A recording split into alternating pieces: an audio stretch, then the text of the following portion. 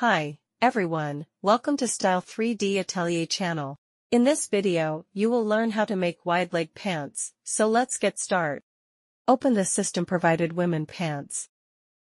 Add it to the project. Control plus A selects all. Control plus H to strengthen the pattern, making quick simulation. Then press the spacebar to simulate, unstrengthen, next modify the pants. Shortcut Z open the edit pattern. Drag points to adjust the pattern shape, mainly widening the leg.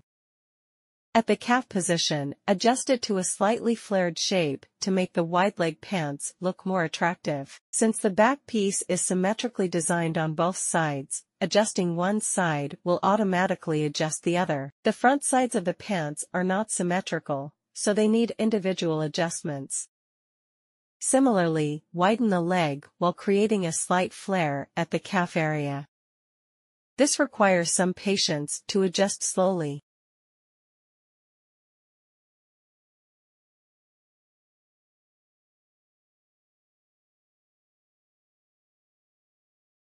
Delete unnecessary points.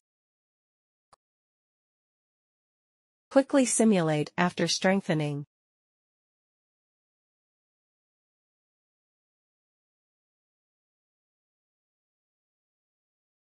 Here we notice that the pants are a bit short. Unstrengthen. Select the four edges at the pant legs. Right-click and choose Offset Pattern Outline. Change the value to 3.5 centimeters. This way, the pant legs are lengthened.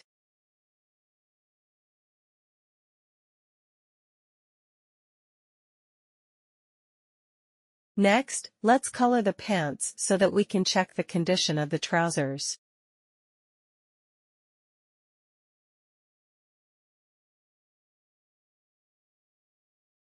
Use shortcut D to open the pen tool and add internal lines to the pants.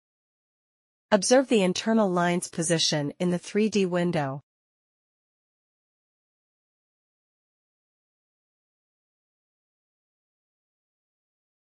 Select the two lines, open the realistic fold, set the angle to 160 degrees. Simulate to see the folding effect. Next, let's adjust the sewing lines. Shortcut B to open the edit pattern. Change multiple sewing lines into a single line for easier observation and adjustment.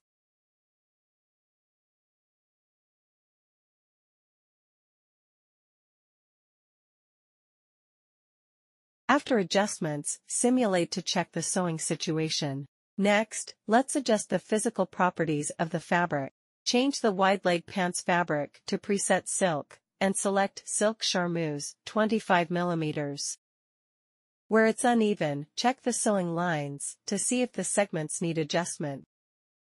Shortcut Z to open the pattern edit, adjust the length of that line as needed. Shortcut B to open the edit sewing. Select two sewing lines, check if their lengths match. After simulating, you can see that the pants legs are now smoother. Next, select all the pattern and set the particle distance to 5. The smaller the particle distance, the smoother the appearance of the pants. Finally, rotate to view the entire pants. This way, the wide leg pants are now complete.